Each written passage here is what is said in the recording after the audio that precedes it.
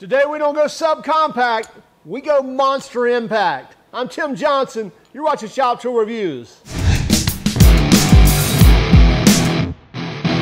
This is the Durofix 1 inch jumbo impact wrench. Model number is the RI60176. This thing runs on 60 volts of power and it will run on one battery or two batteries. And we have a couple of different sets of batteries here that we're going to talk about. Now let's dive right into this thing and take a closer look at some of the features on this gun. Even though it's a big old brute of an impact wrench, there are some features on this that may surprise you. Well, there's nothing compact about this impact wrench whatsoever. In fact, that's why they call it the jumbo impact wrench. One inch anvil, it's the Durofix RI6016 jumbo one inch impact wrench. This guy weighs a little bit as well, so we will weigh this and we'll measure it here in one moment, but let's talk about some of the features and specs on this. You can see right away we have an adjustable handle here. I believe it swivels uh, 360 degrees all the way around the tool. Wherever you want that auxiliary handle facing, you can do so. You also have a lanyard ring or a lifting ring right here to support the weight of this so that if you're doing um, you know, a lot of stuff, it could be hanging from something or at least being supported around your shoulders or neck rather than just you holding onto this tool. Now right away you'll notice kind of the saddlebag ports on this um, for the batteries.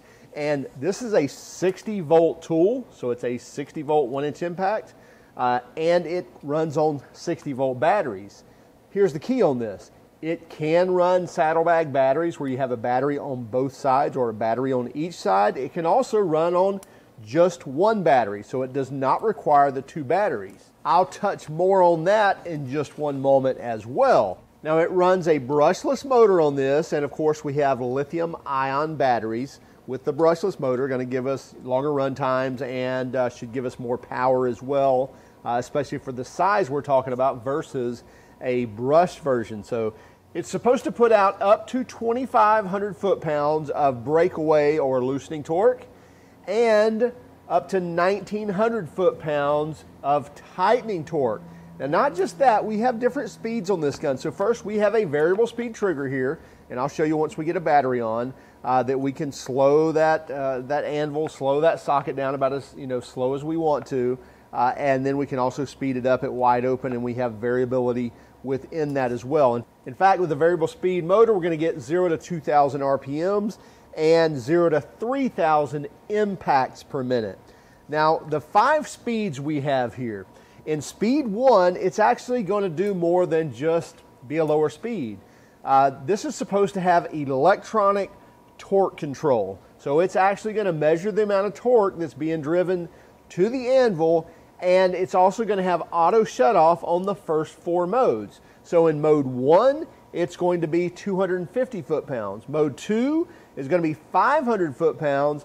Mode 3, 800 foot pounds. Mode 4, 1250 foot pounds. And all of those are going to automatically shut the tool off when it reaches that point. So it won't just slow down or, uh, uh, you know, just stop moving. It's actually going to shut the tool down. Now in mode 5, it's 1900 foot pounds. It's not going to stop the tool. It's just going to keep hammering and that's all it's going to deliver is that 1900 foot pounds of tightening force. Now you'll see right away here that we have two different size batteries here. And our point to this is, is that Durofix actually offers a couple of different battery packages. In fact, this tool is not quite out yet, but should be within the next month or two, uh, or when you're seeing this video, that it may already be out. Anyway, this is their 2 amp hour 60 volt version. This is their 4 amp hour 60 volt version. Now this runs 18650 cells and this is 21700 cells. I'm Not going to get deep into battery technology right now, but this is basically the the larger, uh, more powerful cells is the 21700, which is what the 4 amp hour gets.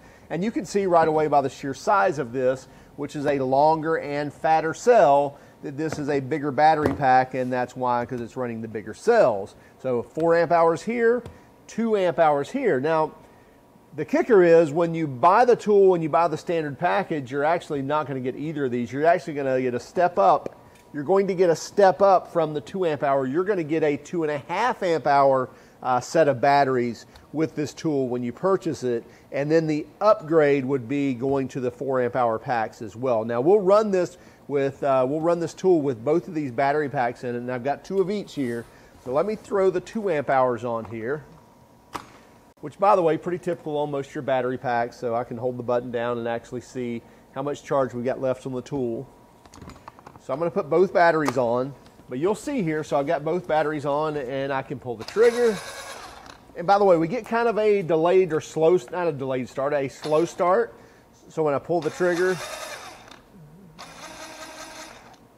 kind of starts all soft and then takes off. And I'll show you that once we get on the test rig that it does that. Uh, and you'll also see from my trigger trigger finger here, I can go really slow. Now I can speed it up. So you can control a lot of that power from your finger regardless of what uh, mode you're in.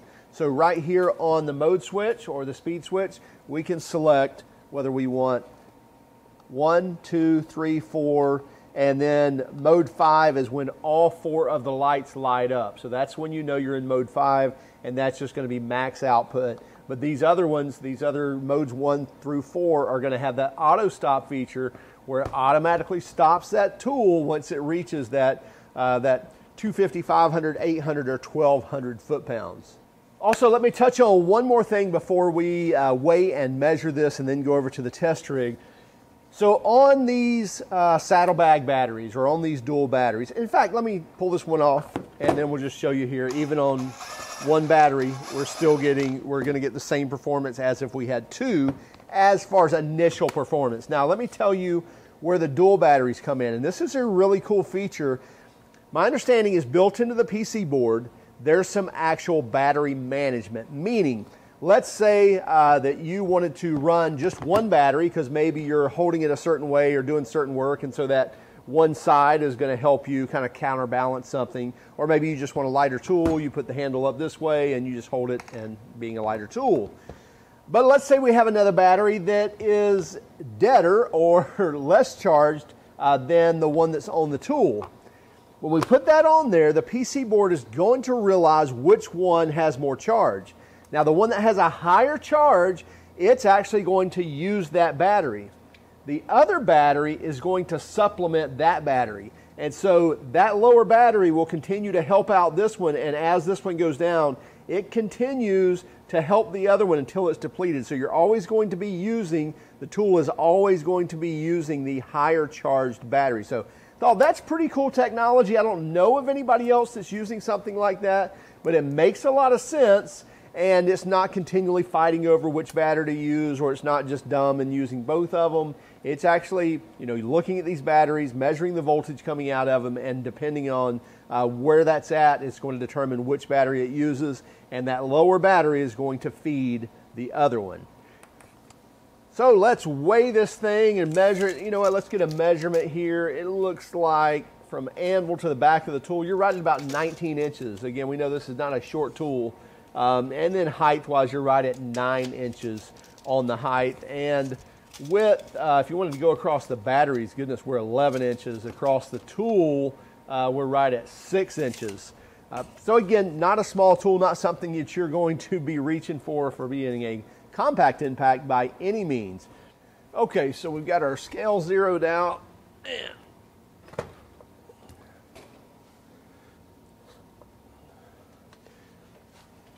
So 26 pounds, 14 ounces, that's with the 2 amp hour batteries on there. So almost 27 pounds with both batteries. Let's pull one battery off of here. So you're looking at 24 pounds. So you're saving a couple of pounds uh, by pulling a battery off. Now, let's measure this with the 4 amp hour batteries on here.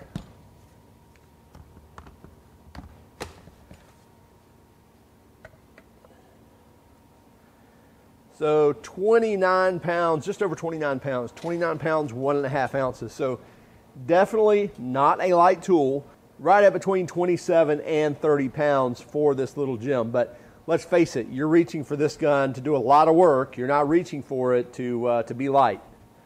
Let's go put it to use. Okay, what we're going to do is we are going to tighten our big one and a quarter inch uh, fine thread fasteners to 1,000 foot-pounds, 1250, 1500, and 2,000 foot-pounds, and then break them free with the Durofix Jumbo Impact. Now this is a precision, very high precision torquing tool. And so we're going to 1,000 foot-pounds. So 1,000 foot-pounds.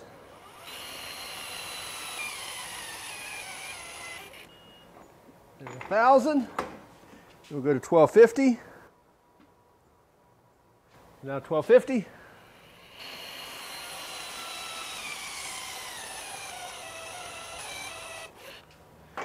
Now 1500.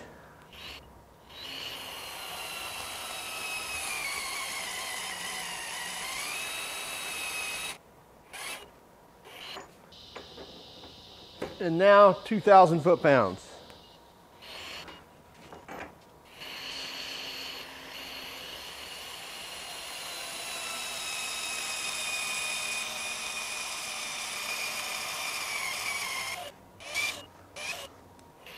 Okay, so what we have, we have tightened these to 1,000 foot-pounds, 1250, 1,500, and 2,000 foot-pounds.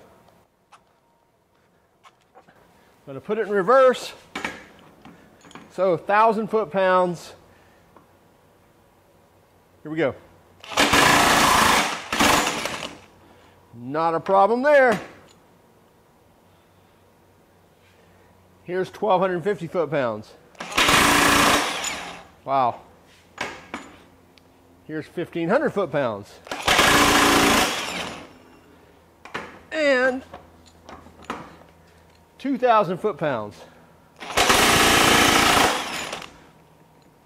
That's with the smaller 2 amp hour batteries. This is the larger 5 amp hour 21700 cells.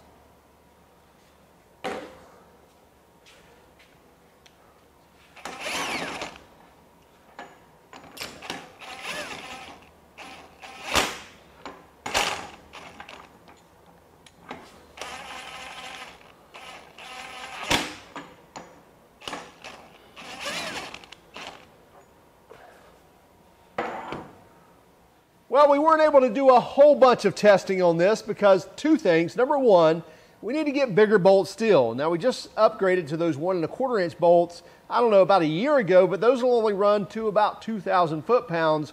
Arguably, that's really over torquing when we put grease on them. So they're not gonna hold up to the 2,500 foot-pounds that we need to test this. We didn't even get into the larger batteries here. We did everything with the 2 amp hour batteries and breaking free even the 2,000 foot pound fastened nut, this had no problem doing that.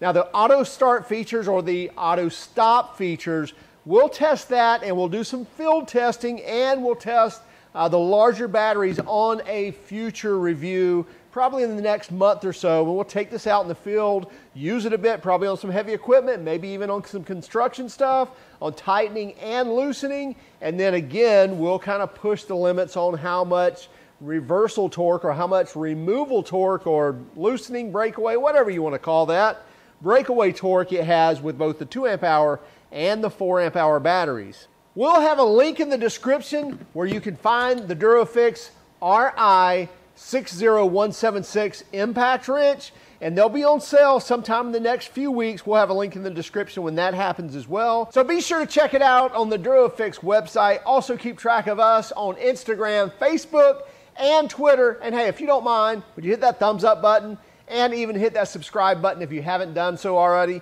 And by all means, if you hated our video, give us a thumbs down. But would you let us know in the comments why? Have a great day. Keep smiling.